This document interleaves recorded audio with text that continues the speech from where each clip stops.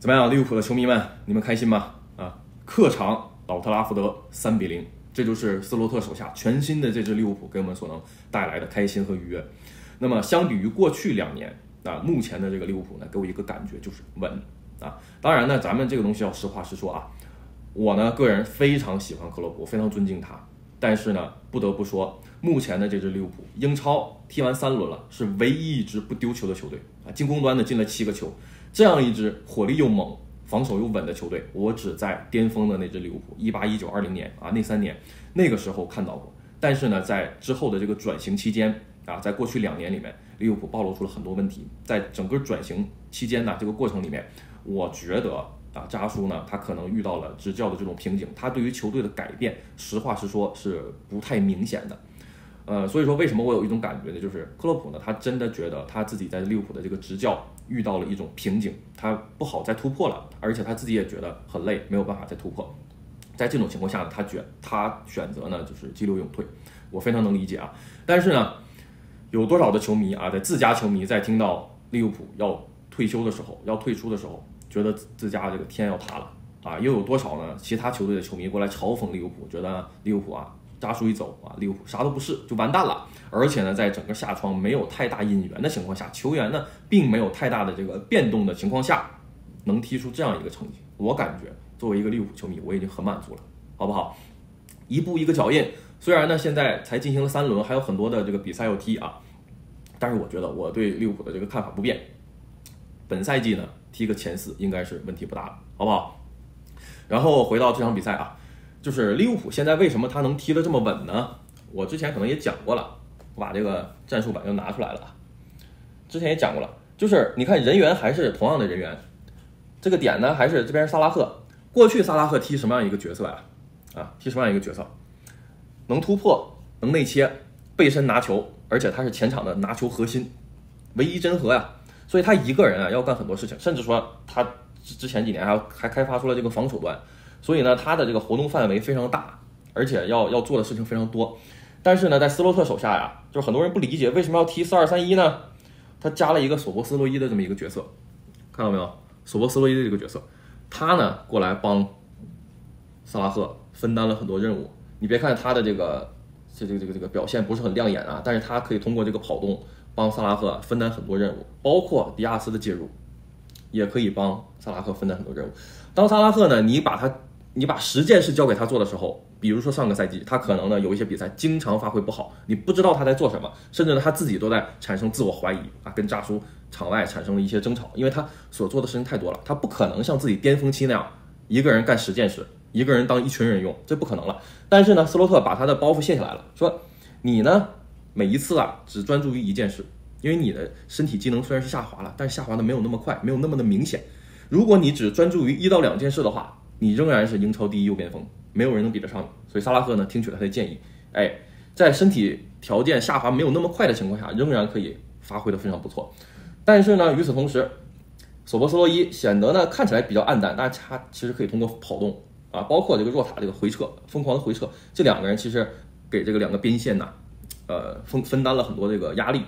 然后呢，亚斯这边这是一个进攻利器啊，在斯洛特的这个反击的体系之中呢。他的这个速度，这个下底是非常重要的，啊，我们呢还没有看到新援基耶萨啊，我是迫不及待的，已经已经等等不及了啊，就等待这个基耶萨，特别是七十分钟以后，萨拉赫一换下，基耶萨下底，然后加克波上来呢，他就可以内切，因为加克波是没法突破了，他速度也不是那么快，是吧？所以他是内切，所以这个阵型的就是这样。萨拉赫在的时候，这个阵型是这样的，往下走，是吧？这一这一这一回来是这样的，前面你再放个努涅斯一冲。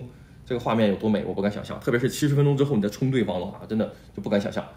然后呢，今天我要着重的夸奖一个人啊，这个咱们的这个格拉芬贝赫，就格拉芬贝赫今天的这个表现，还买什么六号位啊？喊一个夏天了，或者喊三年了，要买六号位，六号位。格拉芬贝赫这不就是最完美的六号位吗？今天踢出来博格巴的感觉，就今天格拉芬贝赫这个表现啊，他带球推进，他的这种小技术，这种摆脱，他的这个传球。就这样一个表现，我跟你说，苏比门迪，苏比门迪来了，都要踢替补。我之后就马上就看了这个赫塔费跟皇家社会的这个比赛，真的，苏比门迪就在这场比赛里面，他真的不一定有格拉芬贝赫踢得好。这个格拉芬贝赫今天如果能保持住，如果真的能踢出来的话，那不就是一个博格巴吗？踢出一个亿的身价了。现在问题就是啊，你得保持住啊，你别别保持不住再崩盘了，就这个问这问题就大了啊。所以保持住的话，我跟你说，这个这个这个这个这个球队赚大了。就克洛普呢，对于他的这个改造啊不明显，就格拉芬贝克呢，在他手下没什么太多的机会。有一度时间呢，我是觉得啊，他应该去踢索博这个位置，但是后来想一想啊，他踢索博这个位置不是不能踢，他能踢啊，也有一脚射门，也有传球，小技术也很不错。因为前腰这个位置啊，就是需要技术非常好的。索博斯洛伊呢，在前腰这个位置，很显然他不能作为核心，因为他没有这种。很精致的这种小技术，但是呢，你把它放到这个八号位，你放到这个这个这个这个格拉芬贝赫这个位置，他显得又力不从心，所以他这个位置定位就比较尴尬，是不是？就格拉芬贝赫呢，很多朋友啊觉得这个这个问题其实大家已经纠结很久了。很多人觉得呢，利物浦需要一个瘦腰，需要一个这个黑又硬，因为觉得利物浦这个中场啊没有硬度。但现在这个问题就是呢，这个往往呢球员的硬度和柔韧度是不能兼得的。就你没有办法说一个人他又硬又柔韧，这是什么东西啊？对不对？你你把他这个弄得最好的一点呢？你怎么说呢？你要找一个中间的平衡点，这个人就是凯塞多。凯塞多的运动能力，他的柔韧度是够的，而且他也有硬度。这个基本基本上凯塞多就是一个一个天花板了。就是为什么去年这个利物浦疯狂的想要求购这个凯塞多，就是因为又有硬度又有柔韧度。你单纯的买来硬的，比如说曼联想要引进的这个乌加特。用处不大，在利物浦这个体系里面，它真的是用处不大。很多人喊的那些什么什么瘦腰什么什么什么帕利尼亚，包括什么桑加雷之前传的，这有硬度，确实有硬度，但是真的就是没有柔韧度。就柔韧度能干什么呢？它可以做很多的这个小动作可以摆脱。你没有柔韧度，你怎么摆脱？包括节奏的转变啊，柔韧度最好的是这个欧洲杯的冠军西班牙。那你看到亚马尔嘛？那个就是柔韧度特别好啊，我怎么摆动啊，你都跟不上。硬度呢？你没办没办法，你的身体太僵硬了。你比如说什么远藤航，身体就是比较僵硬的一个典型代表。身体僵硬呢，你很多技术它就是比较糙，相对来说就是比较糙。柔韧度它技术很细，细的话又能摆脱，又能传球，又能持球往前推进，这多香啊，是不是？所以目前看来啊，格拉芬贝赫这个这个这个太值了，是不是？这最大的这个亮点，跟过去两年比的话，最大的亮点，好吧？呃，其实怎么说呢？这个战术上啊，其实今天利物浦进五个球，进六个球都有可能。那聊聊曼联吧，曼联这边呢，哎，怎么说呢？我都不能把他的问题啊完全归咎于战术，因为如果是战术的问题，他战术是完全错误的啊。这个滕哈赫战术如果是完全错误的话，曼联是不应该有很多机会的。但是今年曼联呢，还是创造出来那么两三个特别不错的机会，但是给你机会你没把握住啊，就机会没把握住是什么什么意思呢？就是球员有一定的问题，就球员一定要负责任的，你不能把这个锅全全给这个这个这个这个滕哈赫的这个头上。不能让他全背锅，球员是有很大问题的。呃，我等会儿啊，我找时间再出一期视频，我聊一聊英超整个这个这个 Big 六的这个引援转会，因为转会期现在已经结束了嘛，窗口窗口已经关闭了。呃，很多朋友就持一个观点，就是我买人，你想要冠军才一定要买人，也不能说完全是错啊。但是问题就是这个买人呐，跟冠军它没有必然性，不是说我开航母我就能拿冠军了，这个不是这样的，它肯定是有相关性的，但是没有必然性。你买人瞎买，最后结果就是曼联、切尔西，就类似于这样的啊。但是这种球队呢，它可以不断的试错。我买错了，我换一批啊，换一批的来，直到我买到了冠军为止。有可能有这个可能，但是呃，我我在那个视频里面我在着重讲嘛，我说曼联的买人到底有什么问题啊？你看似其实还不错，是不是？感就感觉这个曼联这个买人呢都挺对位的。确实呢，今天曼联这个买人啊，你像这个什么德里赫特，曼联这个德里赫特，包括马兹拉维。就如果不是他俩，今天还能再丢三个，这不是三比零，就六比零，还能再丢三个。但是他的这个进攻端，你什么齐尔克泽呀，你买的这些，包括之前买的什么芒特呀，这都这都啥呀？这都是啊，包括什么霍伊伦，就你买的这个球员吧，怎么说呢？他不光光是能力的问题，你不能光看能力，可能呢是有潜力有能力，但是嗯，什么曼联的买人是一脉相承的。我在另外一个视频里面我会详细的跟大家讲一讲，我说有的球队为什么他买人他就买不准？你像隔壁的这个曼城。他没什么引援的这个计划，只买了一个这个这个萨维奥，是不是？人家一个窗口里面，他也是谨慎的开销。曼城在这个这个窗口里面，他挣了一点四个亿啊，啊，通过卖这个阿尔瓦雷斯，卖这些球员，然后京多安免费回来的，呃，萨维奥也没多少钱，但是人家买人准确性，呃，准确率就非常高，这个性质啊就非常的好。呃，曼联的这边看似啊，看似打了一个满分啊，该买的人都买了，但是他这个问题呢，我觉得还是没有完全的解决。嗯，也不能是滕哈赫完全的责任。就今天曼联的这三个丢球啊，你会发现如出一辙，全都是中场对抗，要么是被拦截了，要么是呢中场对抗丢了，要么是像卡塞米罗这种传球传丢了。像卡塞米罗，其实他的这个已经应付不了英超的这个强度了，传球都能传丢了，开始就是他中场出问题了，不是曼联的后防。曼联今天后防其实我觉得发挥还可以，曼联就是中场出问题了。利物浦的这个中场今天发挥超神一般，就还是那句话，得中场者得天下。就利物浦的中场要是能培养出来的话，我觉得有戏啊，这个赛季可能有戏，甚至有可能拿冠军啊。当然这个话说的有点早啊，只不过是。这个咱们要做出来不同的假设，你不能说这个假设没有意义。就很多东西呢，咱们做出重大决定，或者是想要想要看一些这个结果的时候，你要做出来一些推演。如果怎么样？如果怎么样？如果怎么样？你把这些可能性都列出来，然后再看看推演，再这么来。一般来说，你看在在社在这个平时这个生活里面，不都是这样吗？是不是？所以呢，咱们看问题要从多方面看。所以冠军呢，不是没可能。利物浦这个赛季得冠军不是没可能的啊。所以至至少在目前的这个趋势里面看，嗯，我觉得。这斯洛特呢，他还没有达到自己的这个天花板啊！就利物浦今年的这个引援呢，就几乎等于没有什么引援，只不过是补了一个基耶萨啊，就技战力来讲就是补了一个基耶萨。但是呢，我估计啊，这个这个夏天呢，这个休斯啊，理查德休斯是利物浦的这个总监，他跟斯洛特的这个交谈呢，我猜啊，我没有没有证据，我猜大概是这么一个情况。因为从球迷的角度上来看，利物浦他就是不花钱啊，氛围不花钱，骂氛围没有问题，是不是？因为这些球员呢。球迷都很熟悉，但是对于斯洛特而言，在他的这个眼里面啊，你看我我给你模仿一下这个 休斯跟斯洛特的这个对话是怎么样啊？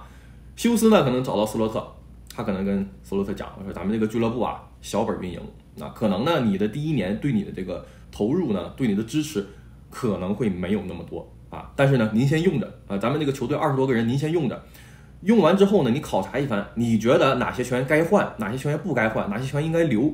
您考察完了再告诉我，然后呢，咱们没有犯错的这个机会，咱们试错成本的这个不能太高，是不是？我们受不了像切尔西、曼联这种一买五千万，然后水货，这个俱乐部受不了。所以呢，您先接着啊，您先扛一扛，能扛过来呢最好。然后呢，咱们这个试了一年半载，咱们最后再说。基本上，休斯跟斯洛特就是这么说的啊，宁缺毋滥啊。如果有好的，咱们就追；如果没有好的，咱们耐心等，先手手就手下这些人，咱们先用着。